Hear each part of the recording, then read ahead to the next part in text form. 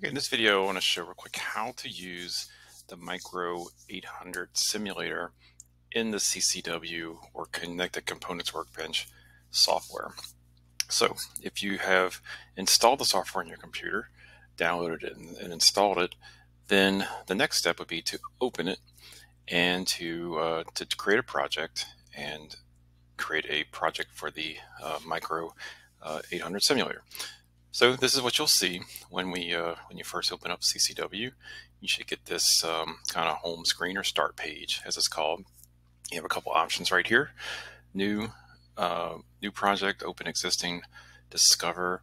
Any recent projects that you've already created kind of get listed here.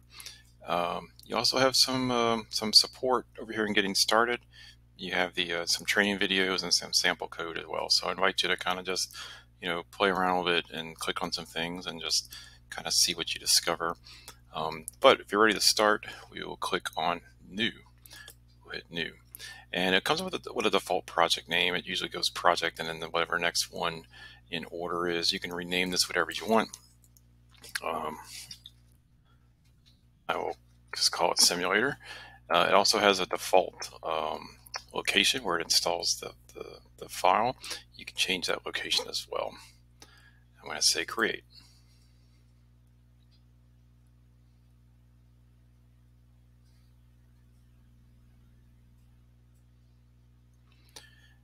So once you create the project, you have to add a device. So CCW allows you to do multiple things from Rockwell.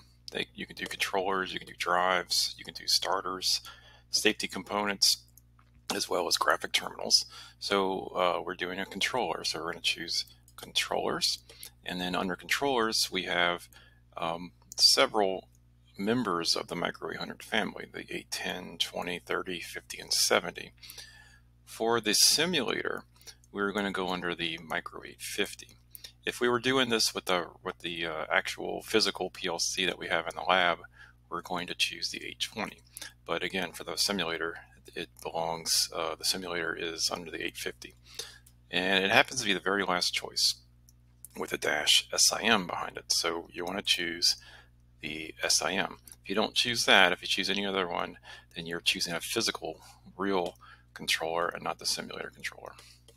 So I highlight that. It kind of gives me a little detail of what it is I'm choosing. And we must hit this select button in order to actually select it. And then we'll say add to project. So it is creating the project, building whatever um, structure required for the simulator. So our first uh, kind of thing we we get when we create this project and add the device is we kind of get the the, uh, the device's um, kind of just basic properties screen here.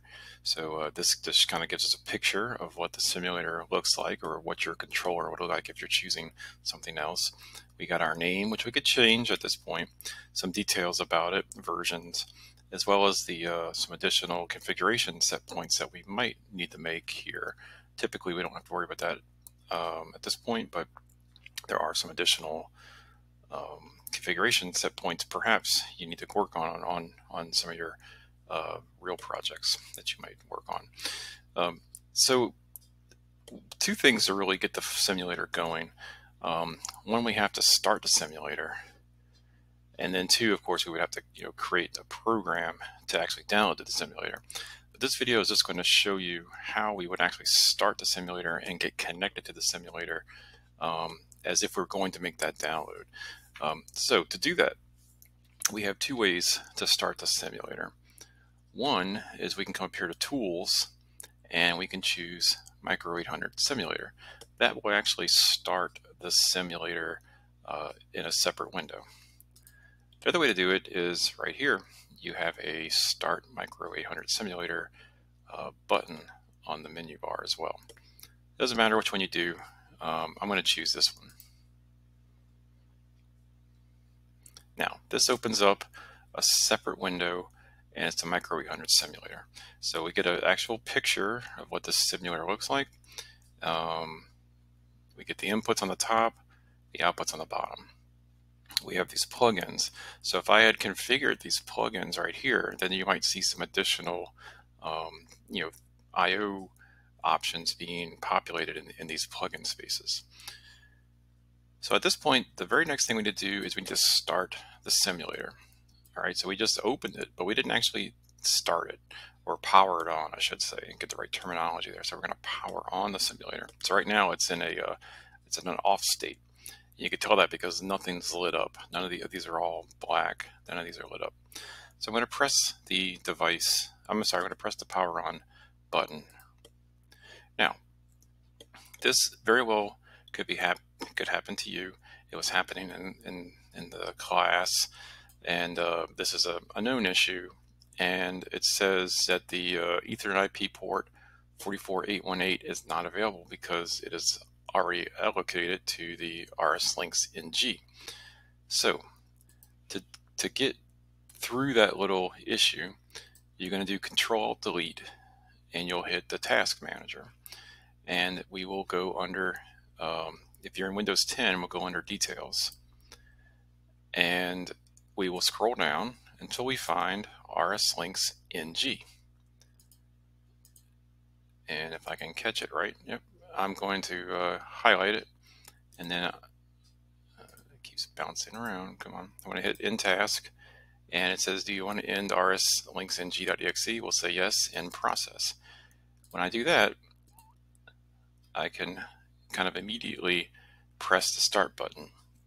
And I say immediately because the RSLinxNG.exe comes right back in uh, very quickly after I uh, turn off the process. So if you can kind of catch that quickly, you can start it. It's a little bit of a quirk. Um, I don't know if it's just a, a, buggy thing in the version 13 or not, but if that's happening to you, that is the, uh, the easy workaround. So now we're powered. That Our little power button has turned green. Our power LED is lit.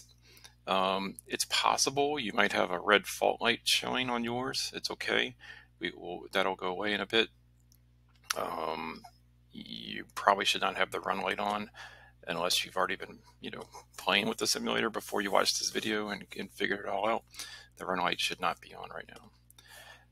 The other thing to note is that it gives it a IP address. So uh, this is basically taking the IP address off of your computer. So, uh, so you, you don't you won't do anything here. You're not going to change anything. That is the IP address of the simulator. So to get connected to the simulator, we're going to, if we go back to the CCW software, we want to make a connection to that simulator because at some point we have to program, we're going to write a program and we want to be able to send that program to the simulator and have the simulator actually, um, you know, test the code.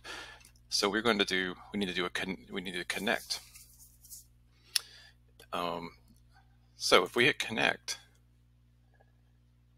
and if you haven't made a connection before, it's going to pull up basically a, um, a path for you to choose. You have to choose, you know, what are you going to connect to? And you should see this kind of come up. And we've got a couple options. We got Ethernet, uh, AB, ETH1, AB, ETHIP1 and Ethernet. It doesn't really matter, of course, in USB, which would be a USB physical USB serial cable connection.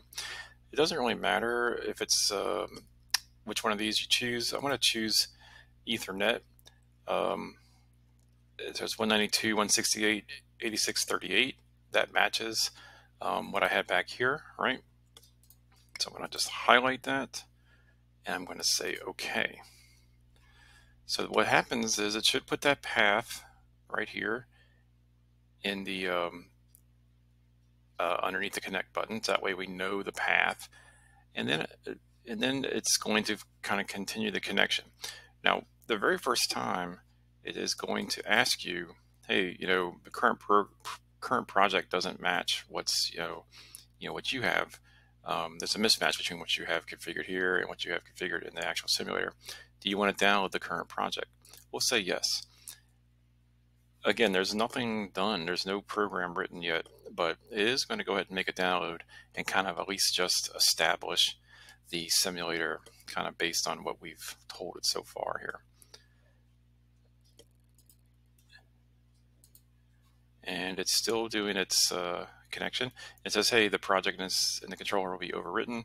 Do you want to download? In this case, yes, we will choose download and it will um, overwrite. Again, there's no program in the in the project, so it's really not doing anything um, to the controller.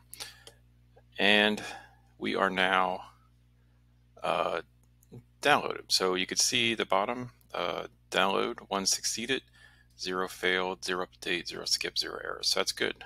Everything went good. So we are actually connected to the controller and we are have downloaded to it. You don't really know anything's happening. I will you know admit there's really no no lights or anything here to let you know what's going on. But in our next uh, in our kind of our, our next step or our next lab, we will create some code, we will download to it, and then you'll be able to see that actually executing um, live through the simulator.